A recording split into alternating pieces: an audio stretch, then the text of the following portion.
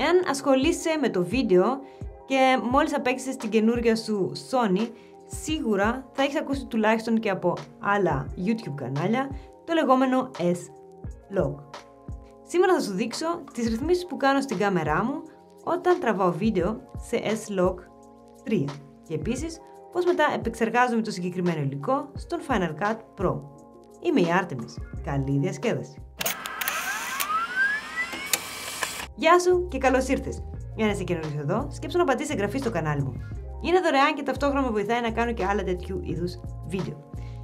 S-Log 3. Ξέρω ότι υπάρχουν και σε άλλους κατασκευαστές, σε άλλες μάρκες καμερών, αντίστοιχα ονόματα, τα οποία όμως μου διαφεύγουν, με τα οποία δεν έχω δουλέψει ποτέ και όπως ήδη είπα και στην εισαγωγή του βίντεο, σήμερα θα μιλήσω συγκεκριμένα για τη Sony S-Log 3 και συγκεκριμένα για την Sony α7-4.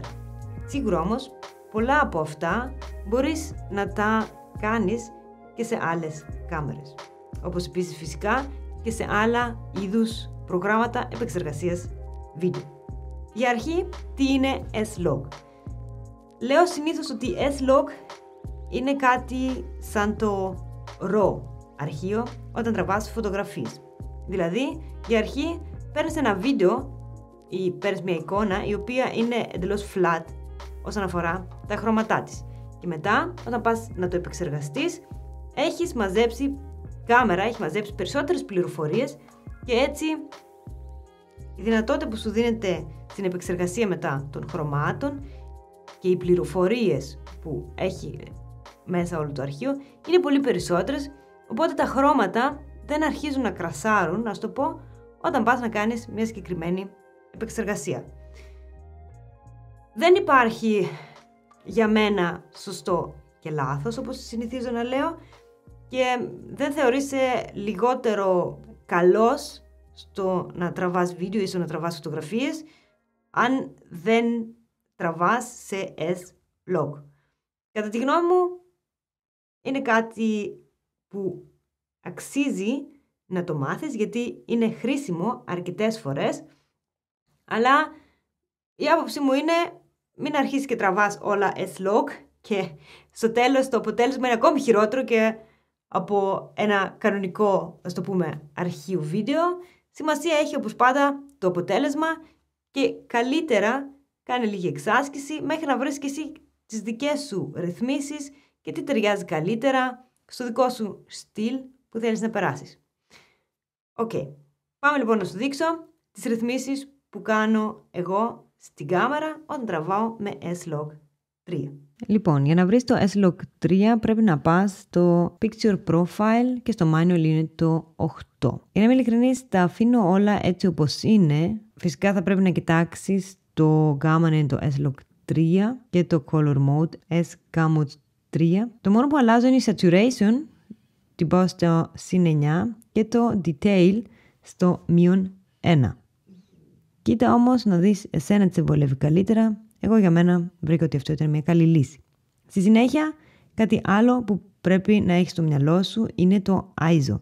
Υπάρχουν δύο native ISO στην A74, το οποίο είναι στα 800 και στο 3200. Είναι σημαντικό γιατί έτσι δεν θα έχεις θόρυβο στο βίντεο σου εάν χρειάζεσαι πραγματικά μεγαλύτερο ISO. Κάτι άλλο τώρα που κοιτάω φυσικά είναι βλέπεις το συν 2 αναβοσβήνει.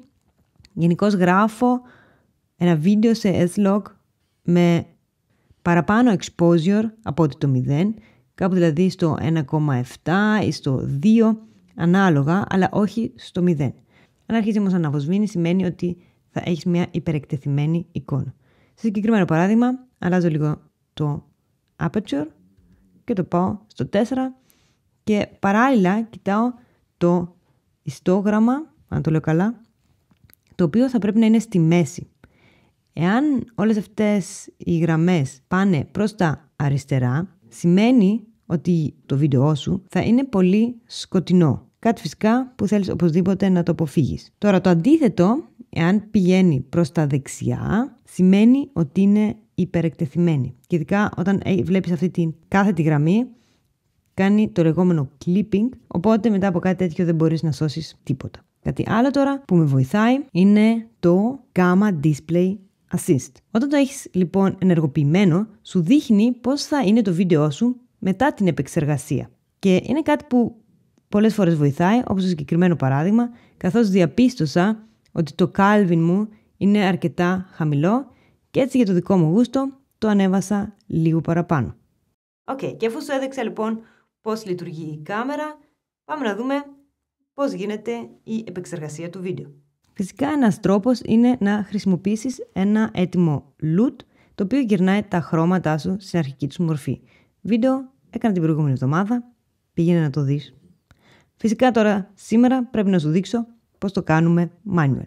Γι' αυτό για αρχή θα πρέπει να ενεργοποιήσεις τα scopes και πας view scopes. Όπως βλέπεις τα χρώματά μας είναι σε μια σειρά, κάτι που σημαίνει ότι έχουμε καλή exposure και 100% είναι τα highlights και το 0 είναι οι σκιές.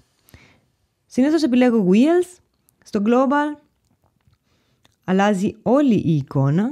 Τα αριστερά έχουμε την saturation και από τα δεξιά τη φωτεινότητα ή τη σκοτεινότητα και στη μέση είναι τα χρώματα τα οποία φυσικά ανάλογα προς τα που τα πας αλλάζει και η εικόνα μας. Η αρχή πειράζω τα highlights τα οποία τα πάω προς τα πάνω κοιτώντας πάντα να μην ξεπεράσουν το 100%. Δεν έχει σημασία να φτάνουν στο 100, σημασία έχει να μην το ξεπεράσουν. Επίσης αλλάζω και την saturation. Τις σκιές τώρα τις αφήνω συνήθως για το τέλος. Φυσικά επηρεάζονται τα σκοτεινότερα σημεία του βίντεο μας.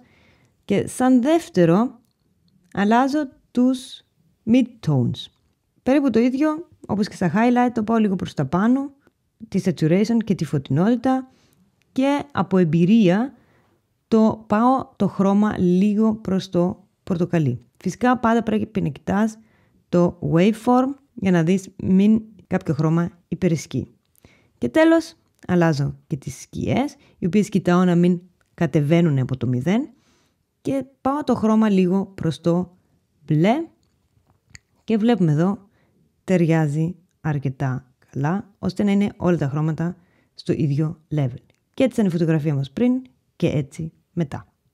Όταν έχεις τώρα να κάνεις κάτι τέτοιο σε ένα κλειστό χώρο όπως κάνω εγώ στο βίντεό μου, συνήθως κάνω το εξής. Πετάω ένα έτοιμο loot, το οποίο επαναφέρει τα χρώματα στην αρχική τους μορφή. Επιλέγω και πάλι wheels και κάνω κάποιες μικροδιορθώσεις, όπως για παράδειγμα, κοιτάω τις σκιές, τα highlights και φυσικά τους mid-tones, οι οποίοι είναι υπεύθυνοι και για το χρώμα του δέρματος ή αλλιώς του προσώπου μου συγκεκριμένη.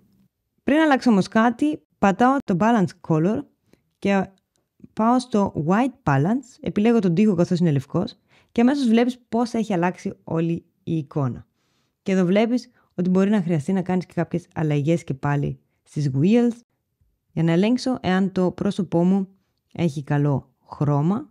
Αυτό που κάνω είναι να πάω στο Vectroscope και κοιτάω αυτό το κομμάτι να είναι στη γραμμή και μετά αλλάζω τους mid-tones ώστε αυτό το λευκό τέλος πάντων να είναι όσο το γίνεται δυνατόν πιο κεντρικά στη γραμμή που βλέπεις. Πατάω reset και έτσι ήταν πριν και έτσι είναι μετά την επεξεργασία μας. Όπως είπα και στην αρχή του βίντεο, αυτές είναι οι ρυθμίσεις που κάνω εγώ στην κάμερα και ο τρόπος με τον οποίο επεξεργάζομαι τέτοιου είδους βίντεο. Φυσικά υπάρχουν ένα σωρό διαφορετικοί τρόποι, διάφοροι τρόποι και άλλες ρυθμίσεις. Εγώ για μένα προσωπικά βρήκα ότι αυτές με βοήθησαν καλύτερα, μου ήταν μετά πιο εύκολο στο να επεξεργαστώ το βίντεο. Αυτό που σου συνιστώ είναι παίξε και εσύ με τις διάφορες ρυθμίσεις της κάμερας πήγαινε μετά στο να επεξεργαστείς το συγκεκριμένο αρχείο και δες τι σου ταιριάζει καλύτερα. Αυτά ήταν λοιπόν σήμερα από μένα. Ελπίζω να μπόρεσα να σε βοηθήσω με το S-Log 3, κάτι που ομολογωμένως μου πήρε αρκετό χρόνο και πιστεύω ότι ακόμα μαθαίνω. Εάν σου άρεσε το βίντεο μου, άφησε μου ένα like και μην ξεχάσεις να πατήσεις εγγραφή στο κανάλι μου για να δεις και άλλα βίντεο από εμένα και θα τα ξαναπούμε σύντομα. Ciao!